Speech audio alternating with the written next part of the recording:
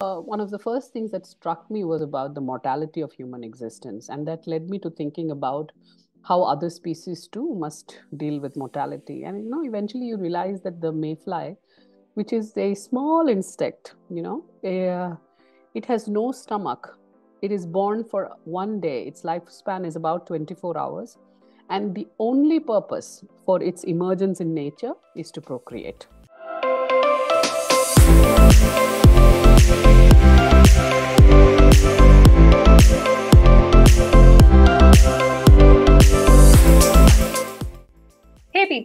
Welcome to the Literary Lounge, where we have honest conversations with authors about life, literature, and the spaces in between. I recently had the pleasure of reading this beautiful book called Where Mayflies Live Forever, and today I'm thrilled to welcome its author, Anupama Mohan, to our show. Anupama Mohan is a multifaceted literary figure, celebrated as a poet, novelist, and an esteemed professor of English and a research scholar. She has spent the deeply moving collection 20 Odd Love Poems and the poignant novel Where Mayflies Live Forever. Her work, including a variety of short stories and poems, has been featured in prestigious publications like The Wire, Himal South Asian, and Postcolonial Text. I have read her novel in a span of one day, and I can assure you that this uh, conversation is going to be as interesting as the novel itself. So first of all, thank you so much, Anupama, for joining us for this discussion. I'm super thrilled and excited to talk to you about this beautiful novel, Where Mayflies Live Forever. It was gut-wrenching and uh, so heartwarming to read your beautiful book. And I've been scarred for, I don't know, many, many days to come in the future. Uh, but before we dive into that, let me uh, let me ask, how are you doing and what have you been reading these days? Hi, Alina. Thank you for having me here. And uh, really happy that you've read the novel and you feel so strongly about it. And this is a dream come true for a writer to get to see and you know see the happiness and excitement in the face of a reader. So thank you very much for that really lovely reaction. And um, uh, what have I been reading? I've been reading a lot of research stuff, uh, but for pleasure, I recently finished reading Salman Rushdie's Knife and it's a terrifying read you know it's the it's a it's the story of how Rushdie uh, survived the knife attack on him it's a terrifying read but it also has the familiar Rushdie personality shining through the book. I have that book with me. I haven't started it yet but i got that book. Yeah yeah it's a great cover. Uh, uh, super soon I'm going to pick it up because so this is going to be my first Salman Rushdie novel. I haven't read his work before, but it's not I'm a novel. This is a mem. It's not a novel. Yeah, it's uh, it's, it's, it's a non-fiction, work of what yeah. happened with him. Yeah. Yeah, yeah. But I'm super excited to dive into it super soon. I've heard such good things about this novel, how deeply uh moving this book is, and yeah, hoping to pick it up soon. So uh, let's let's move on to uh the discussion of the day where mayflies live forever I'm super excited to get some answers about the book and learn more about it from you. Um, and I'd like to start with a very basic question, which I'm sure you would have answered a lot of times to a lot of people around you. Where did the idea of writing about a sensitive topic like rape uh, first emerge, and what made you write a book about it? Yeah, when it started out, you know, I didn't think I wanted to write about, uh, you know, uh, rape as such, but uh, I wanted to write about an, an event that would really push the human body and the human mind to its limits, you know, uh, like the loss of one's vision, for instance, you know, or losing a limb or losing a very dear person, you know, uh, some kind of limit event that really tested uh, what it means to be human, you know, and how we define ourselves uh, in relationships to other people so i wanted something like that something from where you know the return is really hard and difficult. And as it so happened it turned out to be uh, this event of uh, deep assault. And as you can if you know as you know uh, the rape itself is a very small part of what uh, you know Veni undergoes. Um, it's the physical assault and the humiliation and the dep depredation of that that really i hope stays with the reader.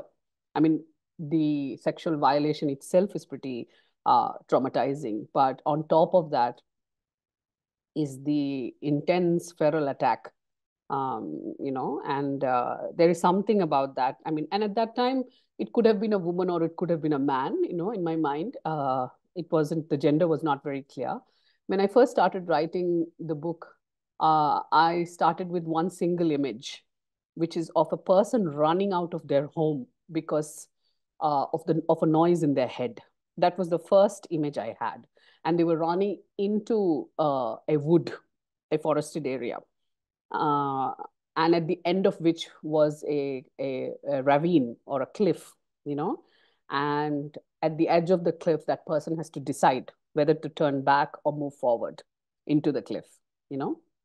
So to me, that powerful image of a person running from the sanctuary of their own home uh, into into a forested area, forced to choose between life and death, where the choice lies solely with oneself and how healthy and sound one feels in one's own mind you know? So it's a it's a choice that one has to make. It's a very powerful moment of decision making. You either say yes to life or you say no to life. It is with that that the first uh, you know the first promulgating impulse of the book you know as it were the first impulse of the book started really uh, and when the novel began i only you know i only had this sliver of an image in my mind. And I had called the manuscript A Quiet Place. It still is saved on my computer under the file A Quiet Place and not Mayflies. That title came up much later. Um, but then I had a talk with my publisher, and I don't know if you have seen, there are two sci fi films called A Quiet Place, part one and part two, and they're quite lovely um, with Krasinski and Emily Blunt. Um, and we thought that that seen. might yeah uh, we thought that might just give the readers the idea that this is another sci-fi book so a quiet place went away but that would have been more the kind of title that i would have gone for you know so that's uh, in a nutshell the genesis of the book got it that that makes a lot of sense and now that you've shared the first image that you had in your mind i mean i can relate with it a lot more mm. re- relate with the book a lot more because that is exactly what happens and how Veni mm. feels, right? She wants mm. to hmm. just run away to a far off place. Mm. Um, on on that note, on the note of the title, where did where mayflies live forever come from? I mean, it's a very curious uh, question that I had in my mind. I mean, very different title, not related to the book. No, I mean, not related to the theme of the book, hmm. but it somehow fits very well into the hmm. whole premise. So, where did this come from? you know, I mean, the book is really a philosophical meditation for me on what it means to be a human, you know, and we tend to think of human beings uh, largely in terms of relationships, right? Your uh, mother, your father, your children, your boyfriend, husband, girlfriend, wife. So these relationships make us who we are. In fact, our sense of self is so mediated by our sociality. We forget that, you know, we it might be just fruitless to keep looking for an Anupama or an Alina divorced from all these relationships. It maybe doesn't exist. So, you know, that led me to think of particularly what happens to women, you know, whose whole social identity is wrapped up uh, so much in our, uh, you know, functions within society. I suppose it's the same for men too, but far more so for women, especially because it is women who can genetically and biologically carry children and motherhood, uh, you know, puts on women a whole range of uh, duties and responsibilities. Uh, these may not be unique. Men can be very maternal as well, but the biological fact of carrying a child transforms a woman's body. So uh, one of the first things that struck me was about the mortality of human existence. And that led me to thinking about how other species too must deal with mortality. And, you know, eventually you realize that the mayfly which is a small insect, you know, a, it has no stomach. It is born for one day. Its lifespan is about 24 hours. And the only purpose for its emergence in nature is to procreate. And so that just, you know, it just stood out to me, uh, you know, what, what kind of sentience or what kind of purpose, higher, lower, middle order, whatever you want to call it, would a mayfly have you know? And yet it's a it's a very important creature.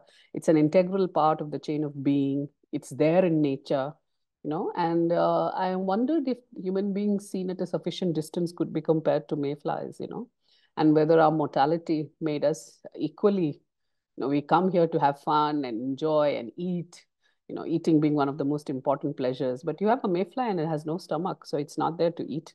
It's there only to procreate. And it's, a, um, you know, uh, you can look up the BBC videos on YouTube about mayfly emergence. It's just a gorgeous scene in nature. It's like a buffet for all the other animals, especially the uh, amphibians, you know, uh, and the snakes and lizards, you know, whoever feast when the mayflies emerge in millions uh, from a river. So, you know, it just seemed to me that there was something very moving and uh, uh, purposive, even though individual mayflies may not have the kind of glory and heroism that we expect, you know, megafauna to have and so on. Right. So, you know, there was a, I think there was an embedded analogy or metaphor there, I think, which I was really uh, attracted to. But as I said, it was not the first title of the book. But that is a very beautiful analogy. I mean, now when you think about it from the larger perspective, I can actually envision why that title came up in the first place. Hmm. So hmm. thank you so much for sharing that with me. And I hope that uh, your readers, whoever listens to this video, learns more about the title of the book from you. And it's amazing. Thank you so much. Mm-hmm. Um, okay, uh, now when we talk about uh, rape, we often only talk about the victim and at times even the culprit or culprits in this case. Uh, but we never uh, even think of diving into the mindset of the family. Uh, so what caught my attention with this book was how beautifully you've crafted different narratives, different perspectives. We hear from every member of the family on their version of the incident and what happens after that. So, how challenging for uh, was it for you uh, to shed light on their perspectives?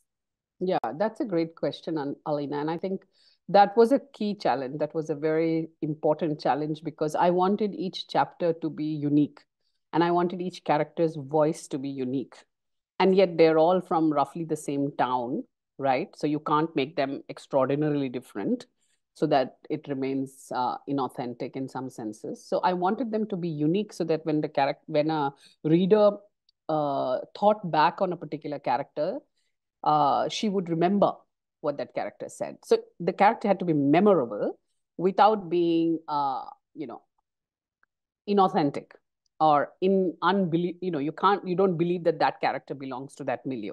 So um so that was a real challenge but uh, you know i had in mind the uh, characters in faulkner for example or hemingway or dostoevsky um, when i was thinking about you know um, these uh, chapters as point of view chapters uh, and then you know it was about being uh, really detailed in your imagination about how you embed that character locally. Uh, and yet, you know, I am I am I'm the kind of writer who likes the reader to do some work. So I don't I didn't want everything to be so embedded that I was basically handing over the story or the world making to the reader. Instead, you know, I wanted the reader to collaborate in the world that I was making. So I would, you know, there are uh, there are some loose threads that don't really, you know, tie up tightly because I like, I personally like reading stories that leave a lot of room for the reader to enter. On the other hand, the idea of a quest requires that certain threads are picked up in interesting ways later, you know, like shards of a mirror that have been planted here and there so that you later piece them together like the full mirror and then you suddenly recognize the reflection in it, you know. So that that was a certain kind of artistry for sure. And it is a challenge to fragment the narrative, but keep a tight control over the fragments yeah, so that, you know, it's not too much out of your control. And yet the control should be light and spontaneous and seemingly effortless but you should hide all the effort behind it you know so i hope that came through you know it, was a it was a lot of research because i'm not a tamilian myself um, and i wanted to get um, place and uh, style right. But at the same time, I didn't want it to be so ethnographically locatable that people thought that I was actually just taking off from a particular incident, which is not true at all. This is really, in that sense, allegorical. There are so many incidents like it, but no one incident has inspired the novel. You know, it's an amalgamation of various things. Makes so, sense. Yeah. Uh, sorry, you were saying something. No, no, that's it. Yeah. Okay. Yeah. So, uh, were you able to speak to people who have been there, uh, family members who have suffered such an incident? No.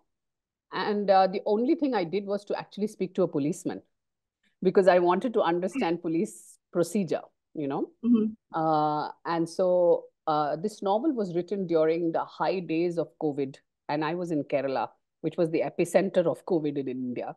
You know, my family was yeah. completely freaked out, and I promised them that I would not go gallivanting around town doing interviews. And uh, and in Kerala, you know, the in 2021 September to December, Kerala, you could not have you know gone around too much. There was plenty of curfew rules. Uh, but a, a policeman a cons- a, a came to my came to me and spoke with me for uh, a while, and I asked him in detail.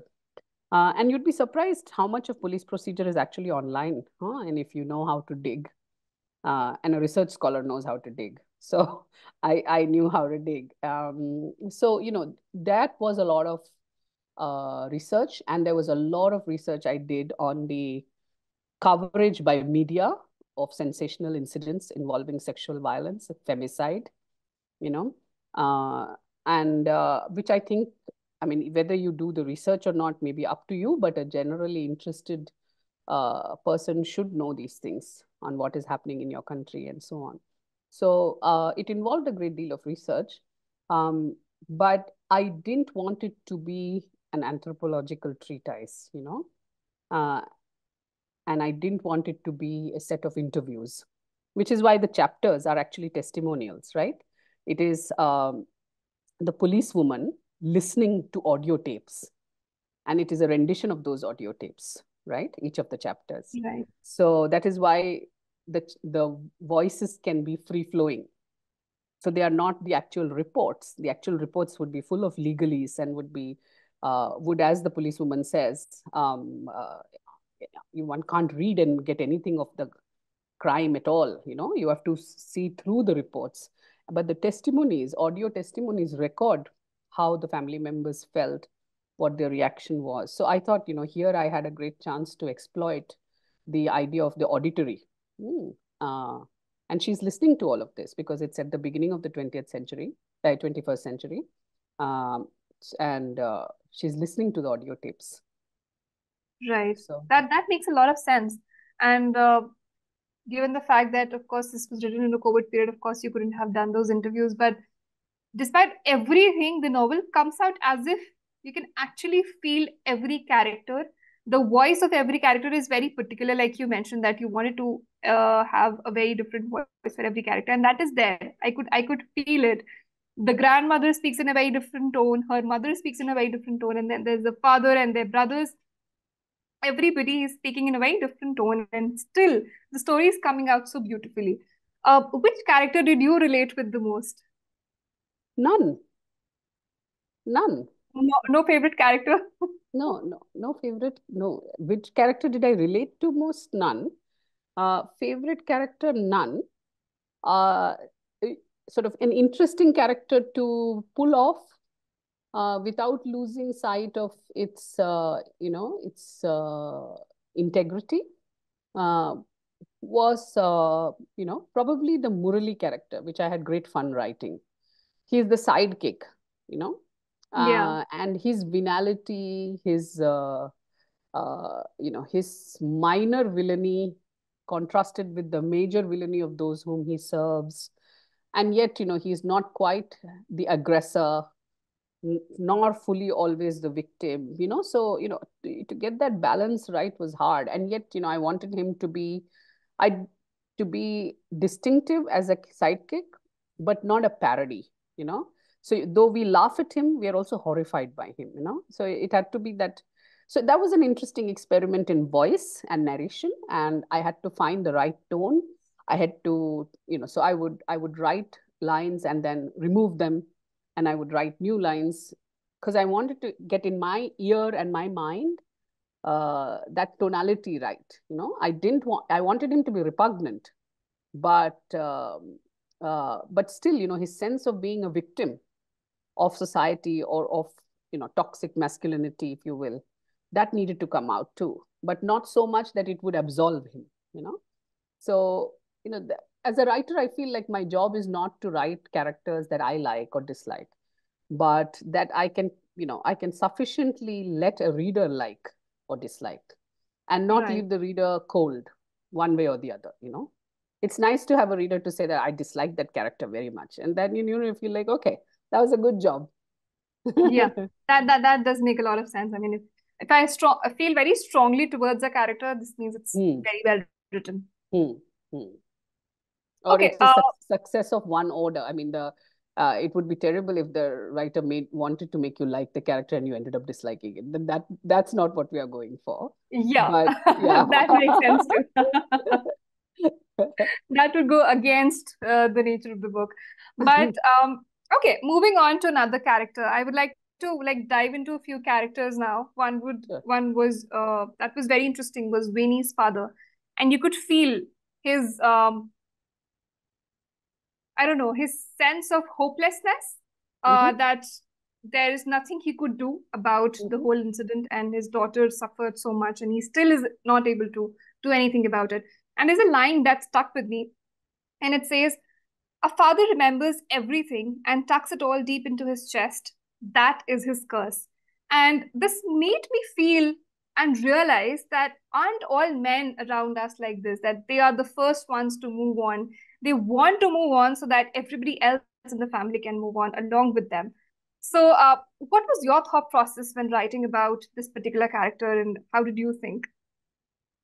Yeah you know uh, because like there are a few men in it and men are the perpetrators of the violence as well right so it was very uh, important for me to not uh, tar all the men with the same brush you know um, that would be a reduction of the actual situation, firstly, and it would also not be right because there are plenty of uh, male members of society who are equally outraged by so social and sexual violence. And we tend to think that uh, gender issues impact only women, but actually a lot of men are uh, victims of sexual violence as well, you know? So the male characters, from in my mind, needed to be diverse, you know? They needed to be distinctive and uh, even where even where they stay true to type that a reader would anticipate and ex expect uh, i wanted to do interesting things that the reader did not expect you know so uh, writing the father was very interesting because Veni learns a great deal from her father you know and tamil nadu has one of the worst statistics in the country for uh, uh, feticide female feticide uh, and female infanticide uh, and I often wonder about the kind of social burden placed on parents to have a male child. And that is true for all of India in some ways.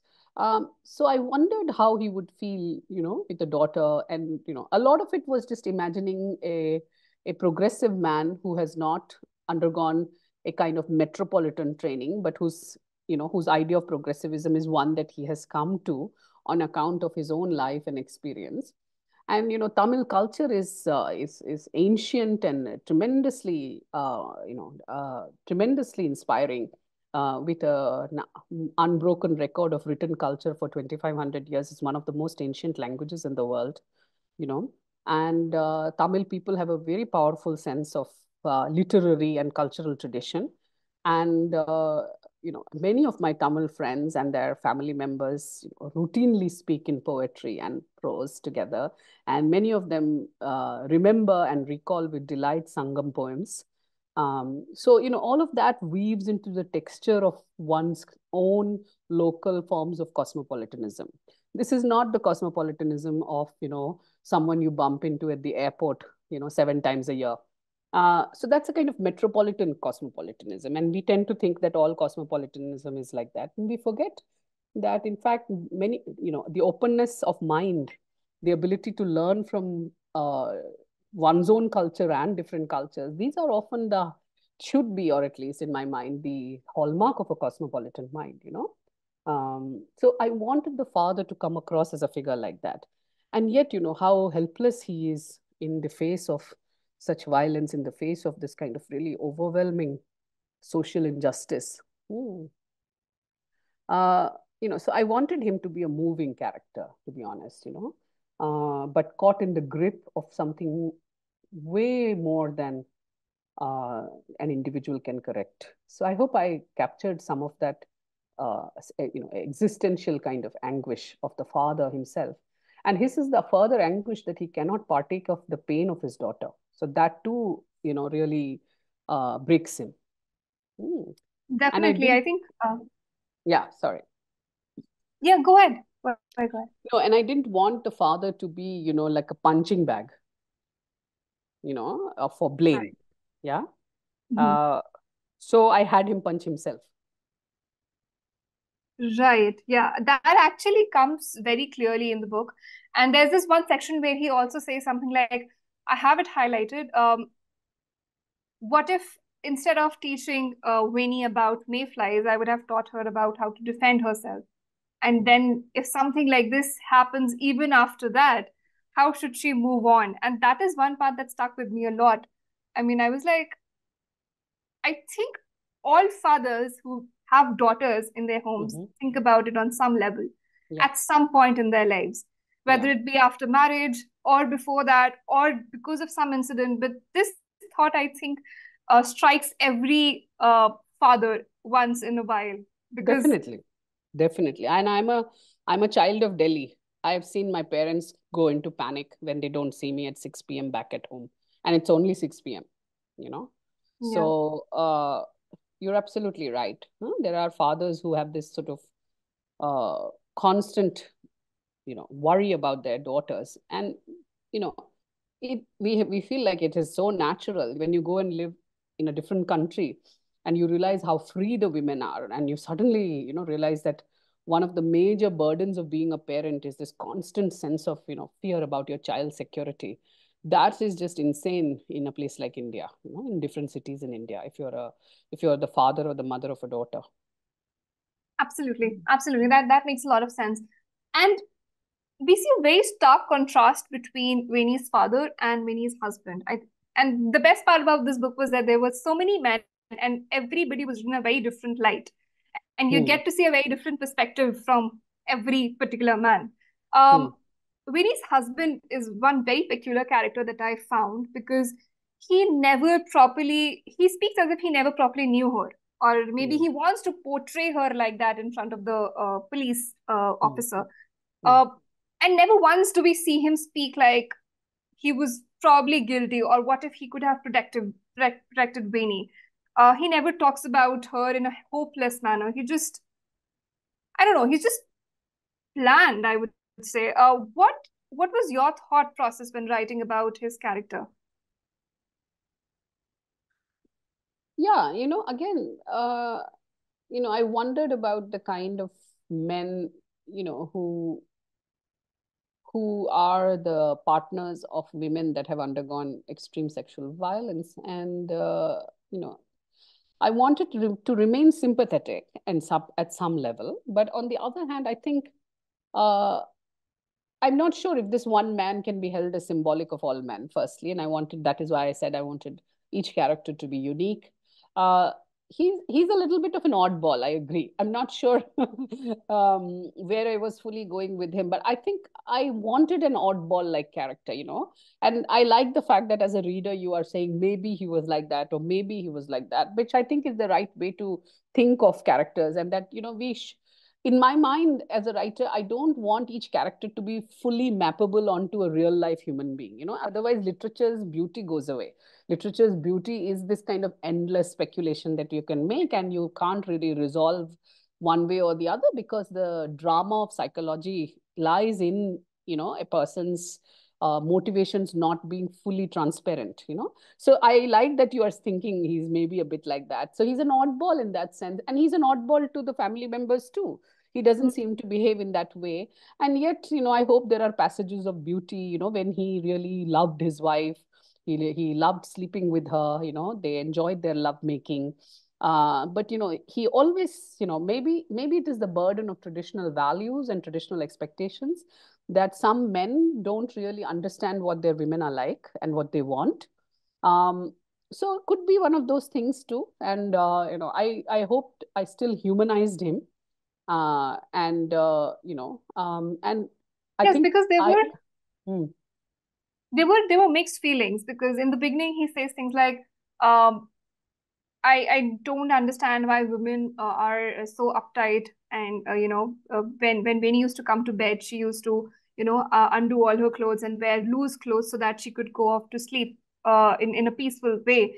Uh, why do women have to you know keep themselves so tight bound up with everything that they do? So there are thoughts like that. And then there are thoughts like i don't know if i uh, probably understood her that well because sometimes she would just be lost in things that she would do and i wouldn't understand her mm. so we see a mix of both kind of emotions it's not just mm-hmm. one perspective there, there are multiple yeah. perspectives from him yeah and i think I think uh, you know some of us have friends who are men who have grown up in gender segregated schools, and uh, some of us ourselves have grown up in gender segregated schools, and you know it leads to a kind of uh, real uh, you know gap between a man and a woman, and you know how fundamentally hard it is for such people to figure out the the what is common in the dreams and desires between men and women. You know, and I'm personally, uh, I do not at all uh, recommend sending your child to a boys only or girls only school. I think in those 12 years is very important for your child to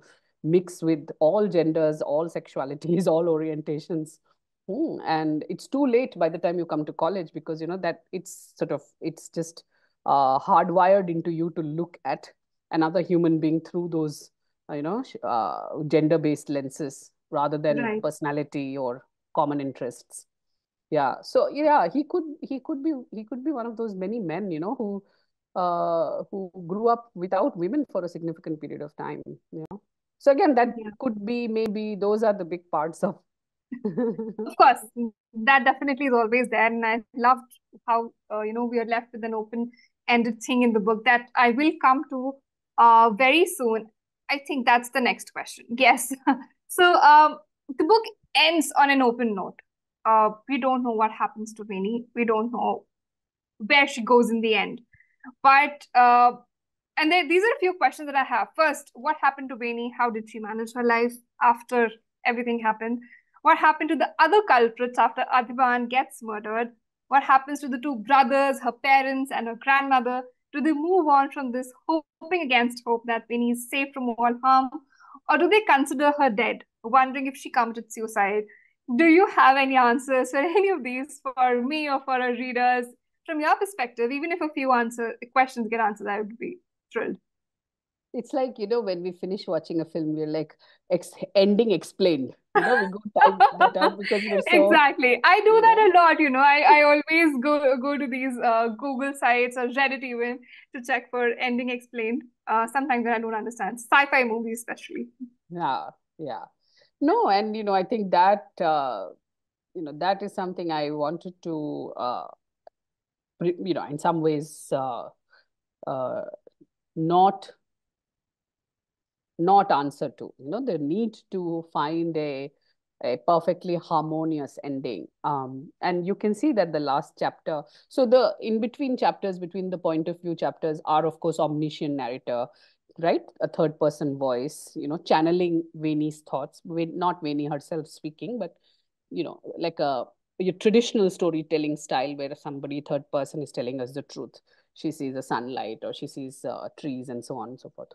Uh, and uh, you know, the novel ends where the novel starts, you know. So the novel ends the evening before the murder.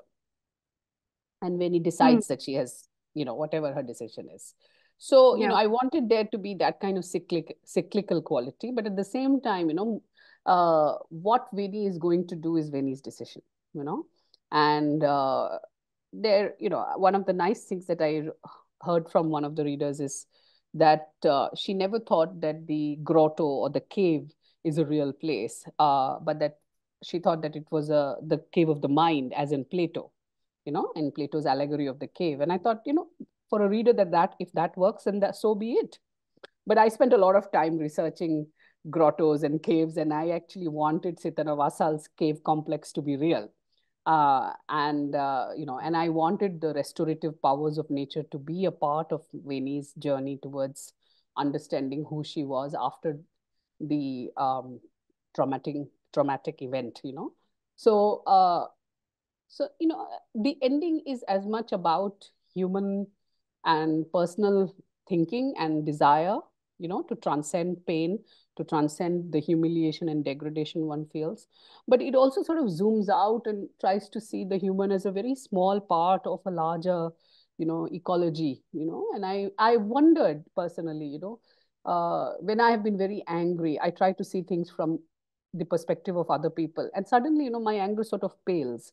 And I wonder if this is uh, this is very bad self psychology you know because sometimes you want your anger to be there so that you take a decision you say that no we have to do it this way. But uh, you know but it is true if you if you you know zoom out of the individual what do you get? You get the social uh, maybe you get the community then you get the national and you get the social and then you know how depends on how many levels you zoom. Until you zoom far enough and you're just a blue planet you know uh, right. in that wonderful imagery of the blue planet that Earth is. So, you know, again, so I was playing with these dimensions and the idea of the mayflies comes back over and over in that sense, right? Uh, but it doesn't it doesn't mean that my my desires or my worries and my anguish has no meaning. It has a lot of meaning. Huh. And I must find the answers that I seek. And I must be happy with the answers I, I get or find or make and with the questions that remain you know so something of that is there at the ending of the novel you know i think you know?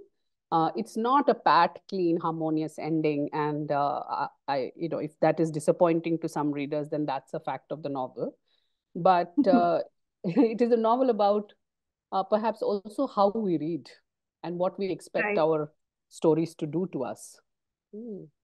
makes sense and beautiful how Veni finds herself in the end uh, mm. because that is what the reader hopes for. You know, mm. whenever you read something about it, you always hope for a happy ending, which, mm. of course, in the practical world is, does not exist. But hmm. even then, you hope that there has to be some kind of revenge, or she should be able to avenge her culprits, or or something of that that should happen. A happy ending for Veni, and that is there in in some ways. But I loved the hmm. ending even though it was open ended, I could, uh, you know, weave my own answers uh, in the end, hoping that this would probably it, uh, probably be it. But that was a very beautiful ending, I would say. I mean, if readers are not accepting it, I don't know, but I like I like such books, so I did love it, and I think I would like to move on to the last question uh, of this interview, and uh, I've loved talking to you, Anupama. This was a very, very uh, heartwarming discussion. But before I let you go and before I wrap up this discussion, I would love a few book recommendations from you, uh, especially because you're also an English professor. So I'm sure we are going to get some very interesting titles that I'll be happy to add to my TBR. So, okay. what books would you recommend? Okay, uh, I can I can recommend a couple of books that went into the making of this one and maybe mm-hmm. that will help you see uh, you know where i was coming from and uh, you know in terms of technique if you can see uh, any of the interesting stuff that i borrowed uh, and stole from other writers um, there is uh, fernanda melchor's beautiful novel very difficult to read novel but absolutely mandatory reading novel called uh, hurricane season you know uh, I believe Netflix has made some kind of uh, uh, know, film or uh, series over it, but I haven't watched that. Uh, so Hurricane Season uh, is a, is a book I would recommend. It's a very hard book to read, and I think also technically a very difficult book to read. Um, and that was definitely, you know, at, at the back of my mind, you know, that heavy sense of doom in a society which is so used to sexual violence that it has become normalized, you know, uh, and she's uh, uh, she's a journalist by training. So her whole approach was very different to mine, you know. Um, the other novel that I would recommend if you haven't read it already is Crime and Punishment by Dostoevsky. It's probably the best novel in the whole world, forever and forever. yeah, and uh, it's a it's a you know it's a primer for novelists on how to write. I mean, Dostoevsky haters will hate it, but I suppose uh, all novelists must uh, read Russian novelists to, you know, basically uh, get get their lessons. Whether you depart from those lessons or you continue those lessons is up to individual mm-hmm. writers. But uh, Crime and Punishment is a is a brilliant read, and uh, you know I go back to it every few years, um, and each time something new grabs me.